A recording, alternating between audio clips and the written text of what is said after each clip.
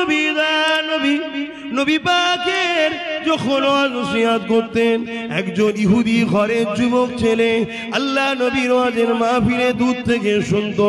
নবী পাকের আলোচনা শুনতে শুনতে শুনতে ওই যুবকটা একদিন নবী পাকের দিবানা হয়ে যায়, নবী পাকের আশিক হয়ে যায়, নবী পাককে ভালোবেসে নাই কিন্তু ইমান আনে নে, ইহুদি রয়ে গেছে, ব্যক্তি মোহাম্মদ হিসাবে ভালোবাসে, রসুল বলে ভালোবাসে না ইমান কিন্তু আনে না। আল্লাহ নবীর পিছু পিছু যেখানে নবী যায়, ওই যুবকটাও সেখানে যায়।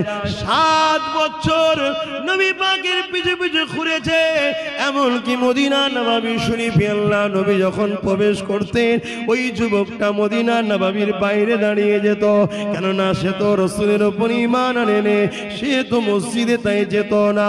কিন্তু নবী পাক জুতা মোবারককে খুলে যখনই মদিনা নবাবী শরীফের মধ্যে ঢুকে যেতেন ওই যুবকটা দাঁড়িয়ে যদি নবী পাকের জুতোটাকে নিয়ে বুকে করে নিয়ে এইভাবে জড়িয়ে দাঁড়িয়ে থাকতো। সাত বছর পরে একদিন ওই যুবকটার মদিনা নবাবী শরীফে রোজ যখন নবী বেরোতেন, জুতো লাগিয়ে দিত যুবকটা। একদিন নবী পাক দেখতে লেগেছে, যুবকটা নাই। সাহাবাদের জিজ্ঞাসা করতে লাগলে, ওই জামাকে ভালোবাসে ছেলেটা, সে আজকে নাই কেন? ওই সময় বলেছিলেন, ইয়া রাসূলুল্লাহ হাবিবাল্লাহ সে বড় অসুস্থ বিমারে রয়েছে। আল্লাহ নবীজি কথাটা শুনলেন, সঙ্গে সঙ্গে বললেন, চলো বাবা, আমি তাকে দেখতে যাব। ও মুসলিম হলো, বিপদে পড়লে তাকে দেখতে যাবা, এটা রসুল্লাহ সুন্নত। তোমার পাড়া প্রতিবেশী যদি কোনো মুসলিম বিপদে পড়ে, তাকে দেখতে যাওয়া তাকে সৎ পরামর্শ দেওয়া সহযোগিতা যদি তার লাগে, যদি গরিব হয় অনেক মহান কাজ কোনার কাজ নাই সবের কাজ। তবে দিবার সময় মেন্টাল ঠিক করবেন। আল্লাহর সৃষ্টি তাই দিচ্ছি, তার থেকে কিছু নিবার আশা করবেন না। কেননা নিবার আশা করে দিলে এটাকে স্বার্থপর বলা হয়। এ যুবকেরা, তরুণেরা, বাপেরা, ওই যুবকটার কাছে আমার নবী চলে গেলেন। যুবকটার কপালে হাত যেই দিলেন, হাতটা দিয়ে চট করে নবী হাতটা টেনে নিলেন। হাতটা টেনে নিবার পরে নবী আমার যুবকটাকে লক্ষ্য করে বলেছিল, ও বাবা যুবক, সাত বছর তুমি আমার পিছনে করেছ কখনো আমার কথাতে তুমি কষ্ট পেয়েছ? যুবকটা বলল, না, কখনো আমি তোমাকে কোনো কিছু আদেশ করেছি? যুবকটা বলল, না, আমি তখনও তোমাকে হুকুম করেছি কিছু? যুবকটা বলল, না, তাহলে কেন ঘুরতে বাবা? যুবকটা বলেছিল, হুজুর, আপনাকে বড় ভালো লাগে। আপনার চলন, কথাবার্তা, ব্যবহার এত সুন্দর, কখনো কোনো আঘাত কাউকে দেন না। আপনি কারও কষ্ট চান না, কারও ক্ষতি চান না, কারও কখনো ক্ষতি করেন না। আল্লাহ নবী তখন বলেছিলেন, যুবক, তুমি আমাকে ভালোবেসে ঘুরেছো। আমি মোহাম্মদ, তোমার কাছে আজকে একটা কথা রাখব। এই কথাটা শুধু এই কারণে তুমি যদি আমাকে একটা সুযোগ দাও, আমি মোহাম্মদ কথা দিচ্ছি। কবর থেকে প্রতিটা মঞ্জিল তোমার সাথ দিয়ে আল্লাহর জান্নাতে তোমায় নিয়ে যাব। এ যুবক, তুমি আমাকে একটা শুধু সুযোগ করে দাও। কি সুযোগ সুরেল্লাহ তুমি আমায় এত ভালোবাসো, তোমাকে আমি জান্নাত কাছে পেতে চাই। যুবক রে একবার শুধু বলো মুহাম্মাদুর রাসূলুল্লাহ। এটা শুধু নাও, মেনে নাও, সাক্ষীটা দিয়ে দাও। এই কথা নবী যেই বলেছে, যুবকটা তার ইহুদি বাবার দিকে তাকাচ্ছে। ইহুদি বাবার দিকে একবার তাকায়, আর নবী পাকের দিকে একবার তাকায়, আল্লাহ নবীর দিকে একবার তাকায়, ইহুদি বাবার দিকে ছেলেটা তাকায়, ঠিক কয়েকবার তাকিয়েছে, ইহুদি বাবা ছেলেকে বলতে লেগেছে, বাবারে দেরি করিস না, আমি আসমানি কিতাবে পড়েছি, ইনি হলো সেই মোহাম্মদ রসুল, ইনি যা বলছে সলদি করে মেনে এলে আরও জোরে বলুন সুভা দেরি করিস না, বাবা। আমি পড়েছি চিনি আসমানি কিতাবই, সেই রসুল। আমি সব নমুনা দেখে নিয়েছি মেনে নে তাড়াতাড়ি বাবা। ছেলেটা যেই বলল, আশহাদু আল্লা ইলাহা ইল্লাল্লাহু ওয়াহদাহু লা শারীকা লাহু ওয়া আন্না মুহাম্মাদান আবদুহু ওয়া রাসূলুহু। লা ইলাহা ইল্লাল্লাহু মুহাম্মাদুর রাসূলুল্লাহ। সঙ্গে সঙ্গে ইন্তেকাল হয়ে গেল। ইন্না লিল্লাহি ওয়া ইন্না ইলাইহি রাজিউন। বলুন ওই ছেলেটার সম্মান কার তুলনা করবেন? কোন অলিদের সম্মান ছেলেটার মতো আছে? বলুন বলুন। কোন অলিদের সম্মান ছেলেটার মতো? কি গো? সমস্ত অলিদের থেকেও ছেলেটার সম্মান বেশি কেন? উনি সাহাবি হয়ে গেল, জোরে বলুন দগ্দিরটা খুলে দিল কে? ওসিলাকে আল্লাহ তো খুলেছেন বেশ, ওই বললাম ইমানদার, কিন্তু মোহাম্মদ রসুল, ওই যে বললাম যে নবী মোহাম্মদ গোলামদের নসিবকে চমকে দেয়, খুলে দেয়, এই যে মাধ্যম, জোরে বলুন সুভান چھوڑ ذکر دنیا کی۔ چل مدینے چلتے ہیں چھوڑ ذکر دنیا کی۔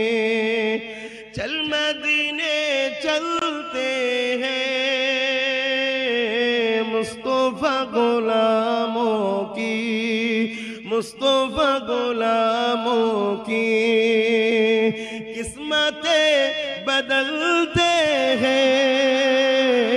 چھوڑ ذکر دنیا کی۔ رحمتوں کی چادر کے۔ رحمتوں کی چادر کے۔ سر پہ سائے چلتے ہیں رحمتوں کی چادر کے رسل پہ سائے چلتے ہیں مصطفیٰ کی دیوانے۔ گھر سے جب نکلتے ہیں، چھوڑ ذکر دنیا کی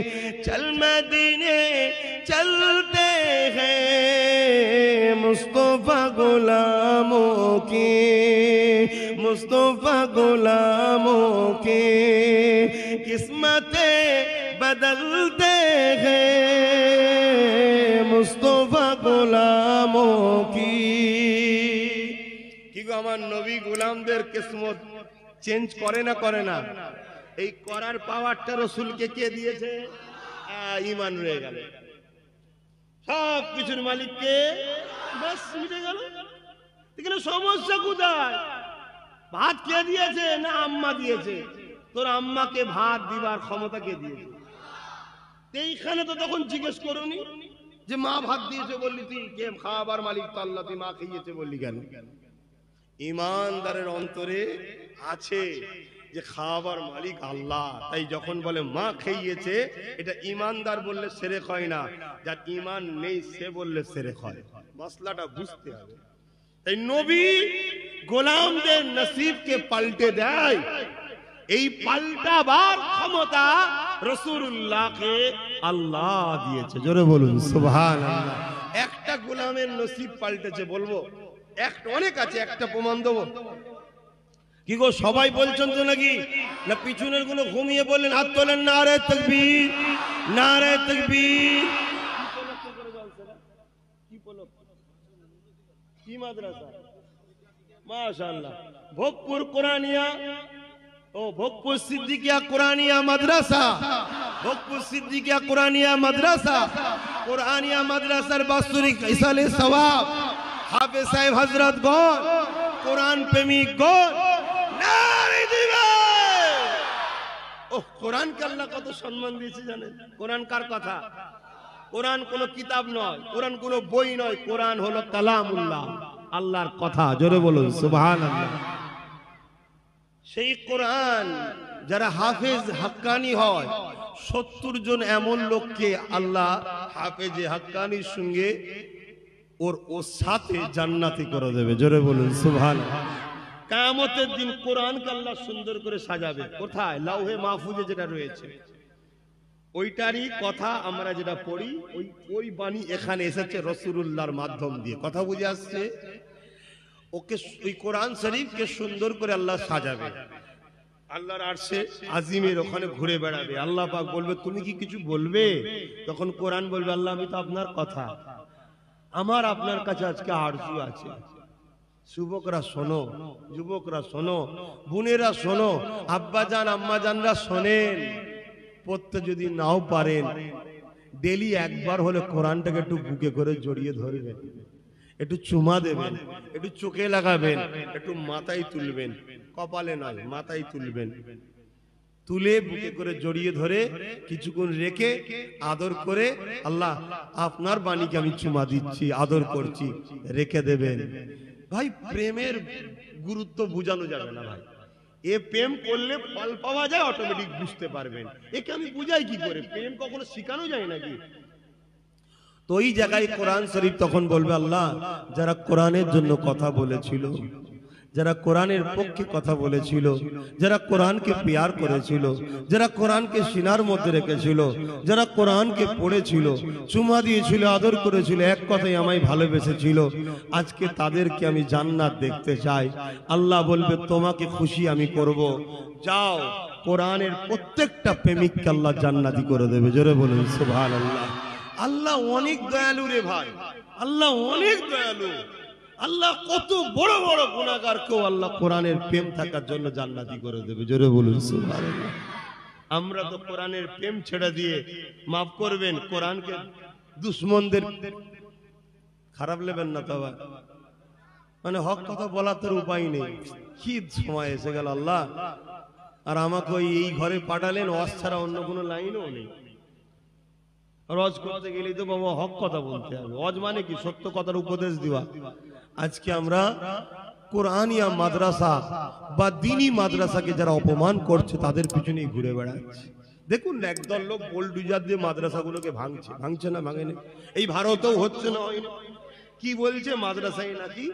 সমাজ বিরোধী তৈরি হয়। বলছে না, বলে না? ভাঙছে। আবার একদল লোক মাদ্রাসা শিক্ষক দেয়নি।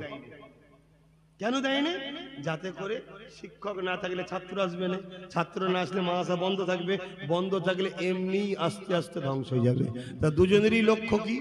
মাদ্রাসাকে মেটানো। কেন ভাই? মাদ্রাসা কি করেছে? ওই যে, দুদিন আগে বলল না, ছোট্ট ছোট্ট বাচ্চারা নাকি ওকে নাকি কি বলেছে? কথা বুঝছেন না? মানে এই পবিত্র মাহফিলে, শোনো, মাহফিল ওইসব ওদের কথাগুলো আলোচনা করাও। মানে কি বলব? কিন্তু ওখানে একটা জিনিস শিক্ষার আছে, তাই আমি বলছি। কি? মাদ্রাসার ছেলে। দেখুন ঠিকটুক করে মাদ্রাসার ছেলেটাকে জড়িয়ে দিল। ও বলতে যে আরও দশটা পিস সাহেব ছিল বলতে কিন্তু না, মাদ্রাসার ছেলেটাকে জড়া। কেন? মাদ্রাসাকে টার্গেট সবসময় বিজেপি করে। বুঝতে পারছেন না? ঠিক তাদেরই সুরের গুণ দেখুন, এরাও গাইছে। মাদ্রাসাকে টার্গেট করে দিল। ঠিক হেসিয়ে দিল। তার মানে কি, মানুষের কাছে ভাবানো হচ্ছে, ছোট্ট ছোট্ট মাদ্রাসার ছেলেরাও কত বড় ছোটবেলা থেকে দেখ কেমন ট্রেনিং প্রাপ্ত হচ্ছে লড়াই করার জন্য। এই মেন্টালিটি মানুষের মধ্যে ছড়িয়ে দিল। আচ্ছা বলুন তো ভাই, আপনাদের এখানে মাদ্রাসা কোথায় আছে? এই মাদ্রাসার ছেলেরা, মাদ্রাসার যারা দায়িত্ব আছে, তারা ছাড়া যখন তখন বাইরে পালায় নাকি? একটা সিস্টেম আপনাদের আছে না নাই? এখানে যদি সিস্টেম থাকে, ভারতবর্ষের দ্বিতীয় বৃহত্তম মুসলিম তীর্থভূমি ফুরফুরা শরীফ, যে ফুরফুরা থেকেই মাদ্রাসা তৈরি করা হয়েছে, শিখিয়েছে সিদ্দিকিয়া, সেই মাদ্রাসায় কি নিরাপত্তা নেই? যে ছেলেরা কে এসছে বেরিয়ে গিয়ে তার পিছনে ছুটলো? এটা কি পাগলামু ছাড়া অন্য কিছু নয়? এটা কি মাদ্রাসাকে মিটাবার একটা ষড়যন্ত্র নয়? তাহলে এই সকল জালিমদের ঘরে চিরুন। যারা আমার রসুল্লাহর দুশ্মনীরা, এরা মাদ্রাসাকে মিটাতে চায়, এরা গুস্তাখে রসুল, এরা মাদ্রাসার রসুল। দুশ্মনীরা, এদেরকে সাপোর্ট করা ইসলামের আইন অনুযায়ী হারাম হারাম হারাম, কোন সন্দেহ আপনাদের আছে?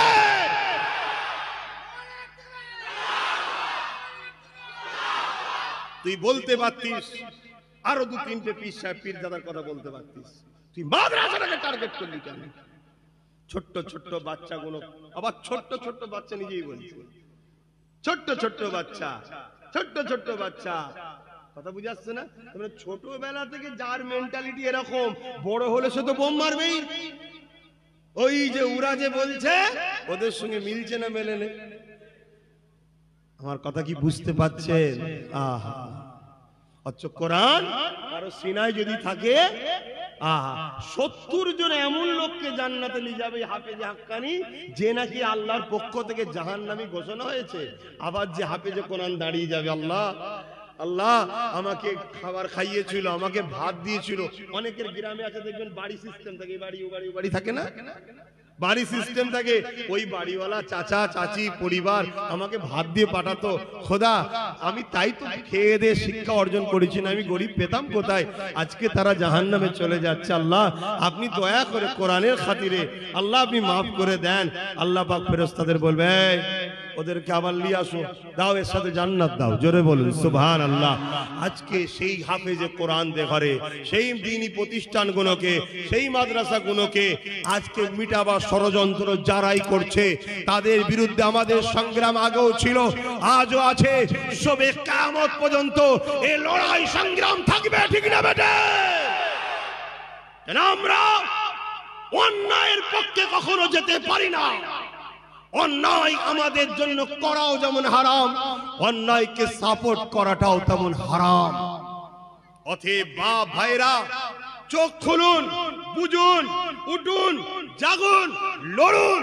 ন্যায়ের পক্ষে অন্যায়কে মিটাবার জন্য ন্যায়ের পক্ষে লড়াই করা সাহাবাদের সুন্নাত ন্যায়ের পক্ষে লড়াই করা পীর পাইগম্বারদের সুন্নাত ন্যায়ের পক্ষে লড়াই করা এমনকি মুজাদ্দেদ জামানের সুন্নাত ন্যায়ের পক্ষে সুন্নাত বলতে সে যেটা নিজে করে ভুল বুঝবেন না, সে যেটা নিজে করে আরবিতে সুন্নাত বলে। ন্যায়ের পক্ষে লড়াই করা আমার আমিনা লালের সুন্নাত, জোরে বলুন সুবহান আরও জোরে বলুন সুহান আল্লাহ আমিন আল্লাহ সময়ও একদল ব্যক্তি ছিল, ক্ষমতার জোরে গরিবদের লুটতো, ক্ষমতার জোরে মানুষকে খুন করত, ক্ষমতার জোরে রেপ করত, ক্ষমতার জোরে কেউ রেপ করলে তার শাস্তি পর্যন্ত দিত না, কেন তারা তাদেরই দরদ বলতে ছিল।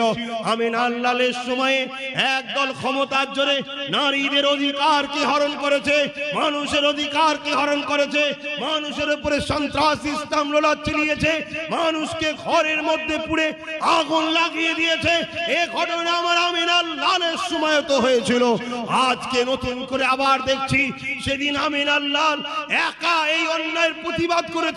তারপরে একটা, দুটো, তিনটে করে অসহায় গরিবরা লালের পাশে দাঁড়িয়েছে। আবু বাকার দাঁড়িয়েছে, উমার, উসমান, আলী দাঁড়িয়েছে হজরত আব্বাস দাঁড়িয়েছে, খাব্বাব দাঁড়িয়েছে, সালমান ফার্সি দাঁড়িয়েছে।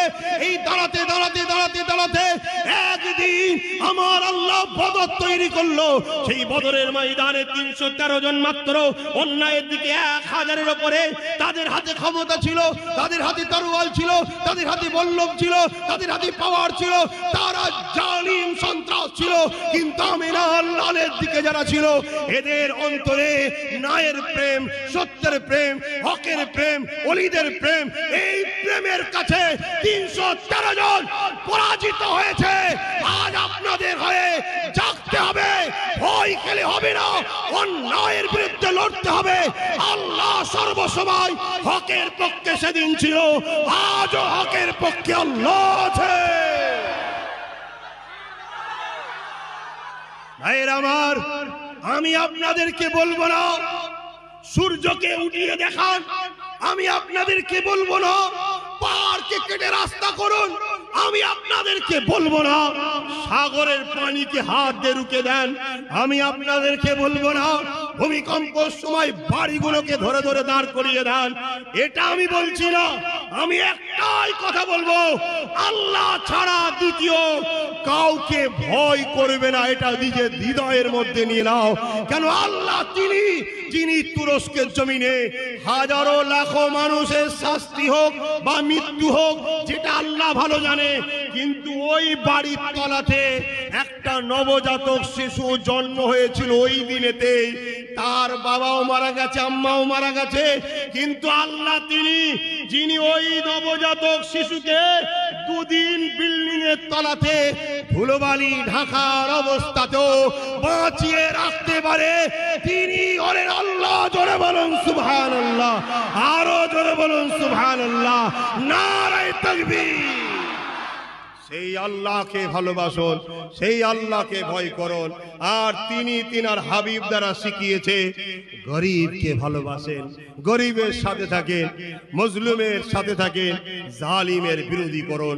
সেই মজলুম গরিব যদি মুসলমান হয়, তারও সাত দিন। গরিব অসহায় যদি হিন্দু হয়, তারও সাত দিন। গরিব অসহায় যদি অন্য কোন ধর্মের হয় সে ধর্ম তার হৃদয়ে ঠিক ভুল আল্লাহর কাছে জবাব দেবে। মানুষ হিসাবে সে বিপদে পড়েছে। আমার রসুলের শিক্ষা তাকে সাথ দিতে হবে।